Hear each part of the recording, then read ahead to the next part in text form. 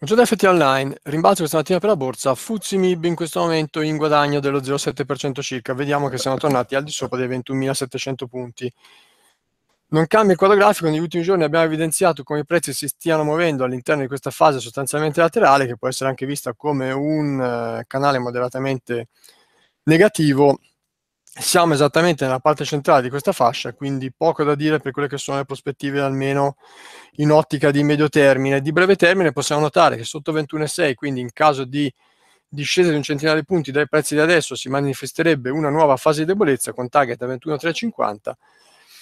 La rottura dei massimi di questa mattina, quindi superamento diciamo, di area 21,780, 21,8, invece permetterebbe di sperare nel test della parte alta della fascia in questo momento intorno ai 21.950 punti. Si tratterebbe in ogni caso di movimenti di piccolo, diciamo, di piccola portata che non andrebbero a farci capire quali sono le prospettive per il medio termine. Eh, quindi momento incerto per la borsa, purtroppo si sta avvicinando anche il mese d'agosto. Evidentemente si stanno un po' tirando diciamo, i remi in barca prima delle eh, vacanze. Comunque, questo non è detto invece che nelle prossime sedute non possa aumentare la volatilità proprio a causa della diciamo, sistemazione in, eh, in, una logica di neutralità dei portafogli. Perciò mercato eh, da seguire in ogni caso con attenzione perché anche se sembra diciamo relativamente tranquillo, sotto la cenere c'è ancora un fuoco che potrebbe diciamo riprendere vivacità eh, anche nel corso del mese di agosto. D'altronde il news flow è ricco di novità, abbiamo visto anche nella notte le, quelle che riguardano sia gli accordi commerciali tra Stati Uniti e eh, Europa, ma anche le novità eclatanti che riguardano Facebook, di cui andremo a parlare tra poco. Prima di iniziare l'analisi dei nostri titoli, volevo farvi vedere su questo grafico il rapporto che esiste tra il titolo STM di cui abbiamo parlato ieri, che è eh, la curva rossa del nostro grafico, e l'indice SOX dei semiconduttori di Filadelfia prima di andare a descrivere questo grafico, andiamo a guardare una slide eh, che è tra quelle che eh, mostriamo durante i nostri corsi. Tra l'altro, appunto, volevo ricordarvi che noi come società eh, facciamo spesso corsi di formazione e a settembre ci sono nuove date, quindi controllate magari sul nostro sito per vedere se ci sono degli appuntamenti che possono essere interessanti per voi. Volevo parlarvi di, questo, eh, di questa grandezza statistica, il coefficiente di correlazione in questo grafico abbiamo il rapporto tra l'indice S&P 500 e eh, l'indice della borsa mondiale, l'MSC World. Vedete come le due curve siano molto simili come andamento, ma al di là di questo, quindi al di là dell'apprezzamento diciamo, eh, soggettivo che si può fare o eh, qualitativo che si può fare della similitudine tra le due curve, c'è anche l'indice di correlazione che ci dice quanto effettivamente siano eh, stretti i rapporti tra eh, la borsa USA e quella mondiale L'indice, il coefficiente di correlazione varia infatti tra più 1 e meno 1, vediamo che nel caso, in questo caso eh, era, qui eravamo nel mese di aprile, ma insomma non è variata tanto la situazione, eravamo molto vicini all'unità, quindi correlazione quasi perfetta, significa che la borsa USA e la borsa mondiale hanno un grado di correlazione molto elevato, ovvero sia dove va una va anche l'altra. È difficile determinare la, guardando solo il coefficiente, la causalità dei, dei fattori, ovvero sia capire se è quella, qual è delle due curve che influenza l'altra. Nel caso in questione è evidente che la borsa americana che influenza col suo andamento quella mondiale e non viceversa. Qui abbiamo esattamente la stessa cosa tra STM e ehm, l'indice SOX dei semiconduttori. Vedete come l'indice di correlazione sia stato addirittura prossimo all'unità nel recente passato, a maggio eravamo infatti a 0,97, siamo comunque ancora circa 0,90, quindi ci testimonia questa mh, curva nella parte alta della nostra pagina che eh, l'indice SOX è quello da tenere sotto controllo per avere indicazioni anche sull'andamento di STM. Difficilmente infatti con un grado di correlazione così elevato, a meno che non, non succeda un, diciamo, un decoupling, ma al momento non ci sono eh, indicazioni in questo senso, eh, difficilmente le due curve tenderanno a eh, muoversi in maniera non sincrona per periodi di tempo significativi. Quindi se si registrano segnali di debolezza sull'indice, è probabile che questi successivamente si trasferiscano anche sul titolo e ovviamente viceversa. Questo è il motivo per cui ieri avevamo analizzato il comparto dei semiconduttori rappresentato dal SOX come premessa per le prospettive di andamento di STM se ci sono ulteriori domande e chiarimenti che avete, che di, di cui avete bisogno su questo argomento, vi prego come al solito di scriverlo sui commenti al video, di modo che possiamo poi ulteriormente approfondire. Passiamo adesso invece ai eh, titoli di cui mi ero mm, eh, proposto di parlare oggi. Iniziamo con Fiat Chrysler, che ovviamente è sotto i riflettori, ne avevamo già parlato lunedì in apertura di settimana e avevamo evidenziato il rischio che questa ampia fase laterale potesse dimostrarsi un doppio massimo. Nella seduta ieri c'è stata la violazione della base della figura,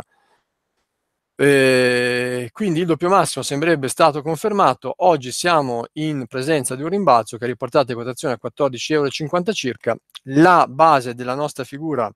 coincide col minimo del 5 di marzo a 15,58 euro un return move su quei livelli è possibile, eh, ma eh, fino a che rimarremo di sotto di area 15,50 il return move rischia di dimostrarsi solo un rimbalzo temporaneo prima di una nuova fase calante. Dove potrebbero andare a finire i prezzi? Vediamo che il target del nostro doppio massimo, ottenuto come proiezione dell'ampiezza della figura dal punto di rottura, si posiziona in area 11 euro. Quindi fino a che staremo al di sotto di area 15,50, 15,60, il rischio che i prezzi scendano poi a 11 euro rimarrà elevato. Supporto intermedio di cui avevamo già parlato anche lunedì, questa area già toccata dalle quotazioni ieri che coincide con i minimi di ottobre e dicembre dello scorso anno. Quindi siamo arrivati su un supporto importante, c'è stato un rimbalzo, ma per il momento è assolutamente prematuro dire che la fase negativa ormai è alle spalle. Guardando il contesto grafico si eh, evince infatti che il rischio di ribassi resta elevato. Considerazioni del tutto simili anche per Ferrari, se vi ricordate avevamo parlato del rischio che venisse completato un testa spalle ribassista, che era questo. La neckline del testa spalle è la linea che unisce i minimi di eh, fine maggio con quelli di inizio luglio, la linea è stata supera- violata scusate, a ribasso il 23 luglio con un evidente gap discendente, le quotazioni hanno poi accelerato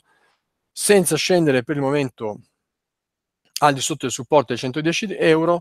eh, ma il testa a spalle è stato completato. A questo punto solo il ritorno al di sopra della neckline, quindi solo se le quotazioni dovessero riportarsi al di sopra di area 116,45 eh, negherebbe le implicazioni negative dettate dalla presenza della figura. Il target testa-spalle che si calcola prendendo l'ampiezza nel punto più ampio della figura e proiettandola dalla um, neckline dove questa viene rotta si colloca intorno ai 97,70 euro. Quindi il rischio in quei livelli, su quei livelli è elevato. C'è questo gap lasciato dai prezzi il 4 di maggio con una base a 106,45 che potrebbe eh, contenere temporaneamente il, eh, la flessione. Sia nel caso di FCA che nel caso di Ferrari non me la sento di dire che i rimbalzi attuali sono delle occasioni d'acquisto, a mio avviso, data la presenza di queste figure di cui abbiamo parlato,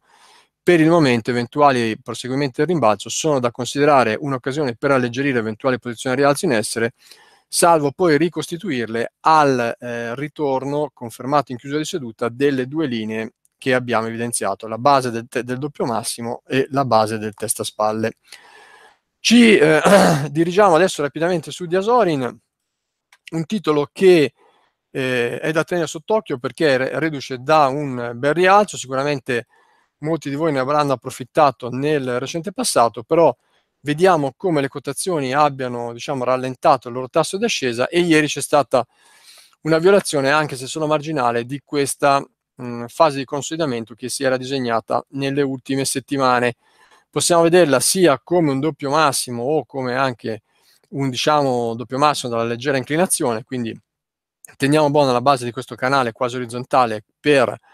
eh, livello diciamo, di allarme, la linea passa a eh, 93,80, ieri la chiusura è stata eh, a 94,35 dopo che i prezzi erano scesi al di sotto della linea eh, nell'intraday. Eh, anche questa mattina ce ne siamo allontanati, quindi chi ha posizione rialzo le può tranquillamente mantenere, ma attenzione perché una chiusura di seduta di sotto di area 94 eh, comporterebbe un rischio di inversione o perlomeno di eh, ampia correzione della precedente fase crescente. Su IMA eh, ci è stato richiesto di eh, aggiornare la situazione, abbiamo parlato recentemente di questo doppio minimo che si era venuto a creare eh, nella prima parte del mese di luglio, il doppio minimo era stato completato con il superamento di area 73,45, un livello di prezzo sul quale ci ritroviamo anche questa mattina. Sarà interessante capire quindi se la flessione vista nelle ultime sedute è solo un return move a toccare dall'alto questa importante area di resistenza, ora divenuta supporto, e quindi se la, ci sarà la tenuta di area 73 potremo sperare in una nuova fase di rimbalzo, in viceversa invece in caso di scesa nuovamente al di sotto dei 73 euro, attenzione perché eh, potremo avere una ulteriore fase eh, negativa. Il testaspalle che si era creato sul eh, grafico e, diciamo, e che aveva terminato la precedente fase crescente, infatti ha un target a 69 eh, euro circa. Veniamo infine a parlare di Facebook eh, che è stato protagonista di un grosso calo nel after hour, ha perso circa il 24% del suo valore dopo la presentazione dei dati, dati degli utenti o perlomeno in parte degli utenti, ho visto che ad esempio l'utile per azione è stato superiore alle attese, ma altre grandezze di bilancio invece sono state al di sotto delle attese, questo ha comportato, eh, come abbiamo, vi- eh, abbiamo, visto, questo eh, grosso ribasso che ha praticamente in una sola seduta annullato eh, il rialzo dei tre mesi precedenti. È vero che eravamo in after hour, quindi sarà importante capire oggi alla riapertura del mercato quale sarà effettivamente il prezzo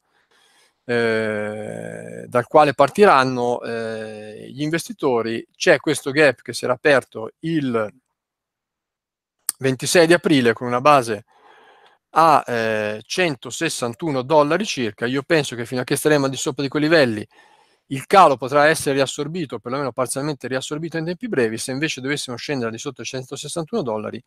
ci sarebbe un rischio molto elevato di una vera e propria inversione di tendenza, quindi avremmo il rischio di vedere partire una correzione estesa di questo rialzo che non dimentichiamolo data dai minimi del 2012 a eh, 17 dollari e mezzo circa. Quindi ci sarebbe tanta strada da fare prima di arrivare a una correzione cospicua di questa eh, fase crescente. Purtroppo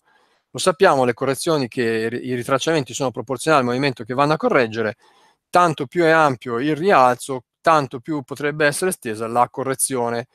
Eh, quindi attenzione su Facebook, difficile, mh, magari ne riparleremo domani dopo aver visto quale sarà l'apertura di oggi, difficile impostare strategie su un movimento di calo così ampio, io direi che eh, appunto si può puntare nel breve ad una reazione, sempre che appunto l'apertura di oggi sia così bassa come è stata la chiusura dell'after hour, intorno ai 170 dollari, ma ehm, attenzione perché il mercato potrebbe aver cambiato in maniera eh, stabile il suo orientamento su questo titolo.